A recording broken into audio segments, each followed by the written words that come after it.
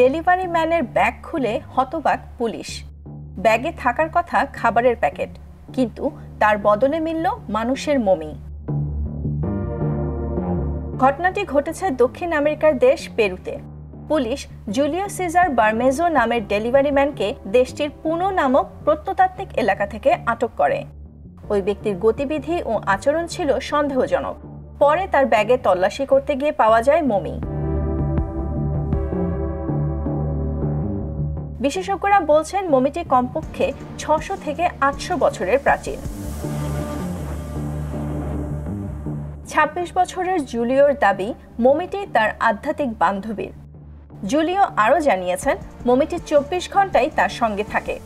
কিন্তু গবেষকরা বলছেন, মমিটি একটি পূর্ণবয়স্ক পুরুষের।